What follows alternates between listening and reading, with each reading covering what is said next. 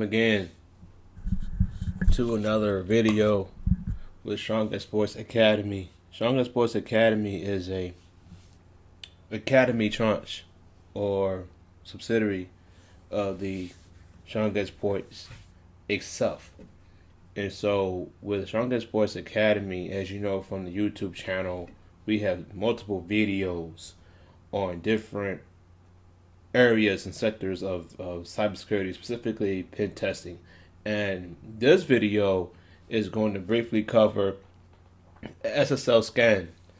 A lot of tools out there like Tenable Nessus, Qualys, and other tools can be used to uncover TLS weaknesses and vulnerabilities. But sometimes when you're testing, you want more than one resource as a secondary form of validation. And I also go into further detail with secondary validation and actually manual pen testing in one of the courses on the Academy site. The Academy site is academy.strongexploits.com and I go into further detail with the importance of secondary validation, manual pen testing, and in Parrot, SOS has multiple tools that can verify and discover particularly TLS weaknesses and within the cipher suite. Now, let's say you don't have Nessus at your disposal Let's say you don't have a commercial solution. What are your options? So in Kali Linux and Parrot OS has a few things you can use. In this video, I am uncovering briefly how to use SSL scan. So with Parrot, um, Parrot OS, there are more there's more than one way to literally start the tool. You could type the terminal or you can click on it via menu. So here, sorry, typos, this can happen. So here, here I have SSL scan. I have prompted them via my terminal and the screen shows a nice list of options that are available to use and tinker with SSL scan. One of the more common options usually evolves around the TLS options, starting with TLS 1.0, 1.1, 1.2, and so on. It is highly unlikely but it can happen where SSL 3 somehow is enabled. If it is, that is an enormous problem.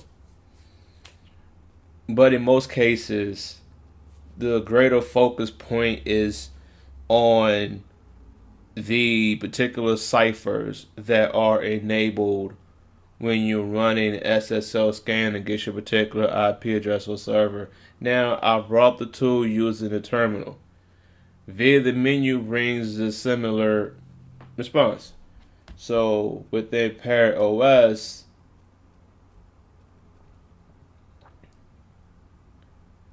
let's start with information gathering, SSL analysis,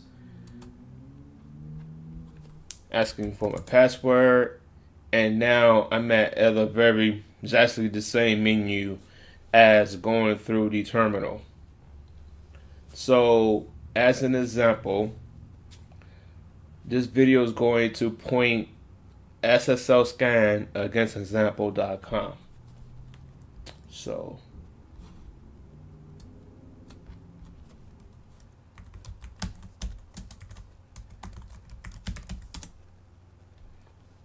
and the output is increasing, is going through the options that are available.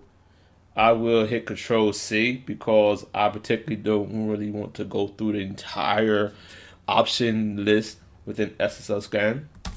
So Control C brings it to a, abrupt stop.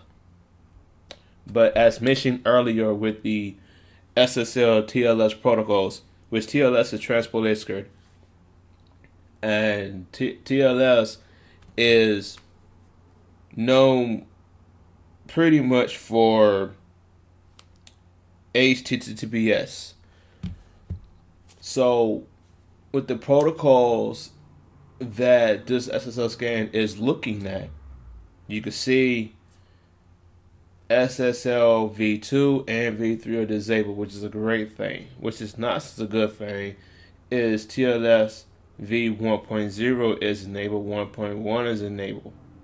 1.2, of course, is it's okay. 1.3 is the current protocol. Now there are many of us of situations where you can have a legacy environment or an environment that still implements what you call end of life product. And an end of life product may have TLS v1.0 that's enabled. And one of the reasons may uncover why 1.0 is enabled is because there isn't an opportunity to actually implement TLS 1.2. So if there's a hindrance or a temporary inability to upgrade to 1.2, it is highly possible to find 1.0 still enabled. I have seen it and over the years we're doing penetration testing and right now it could still occur right now in this current age. There are many many environments across the world that are still implementing 1.0 believe it or not. So using ssl scan is a great way to find secondary proof of of cipher suites that have been implemented on your target is a great thing to use when you want to have an extra piece of backup when you're running scans through a other commercial solution. So you know with more sure confidence that there are no false positives. And as mentioned earlier, I go into further detail within the academy in a course called Manual Penetration Testing when I uncover the importance of secondary validation, how to use scripts to perform validation and those things. So I go into further detail um, in regards to how to do this. So this is SSL scan with with Parrot OS. PerOS is loaded. It's not overloaded. It's loaded enough to have tools that work tools that are essential, tools that are sufficient, that will provide you with what you need when you are executing an engagement. So, this concludes this video. It's the Strong Exploits Academy. Check out the previous videos of the YouTube channel. There are more videos that are going to be uploaded real soon on the YouTube channel. So subscribe check them out. Uh, there will be part twos to some of the previous videos. So there will be links and directions on on what to expect in those particular videos as well. So happy testing. Thank you.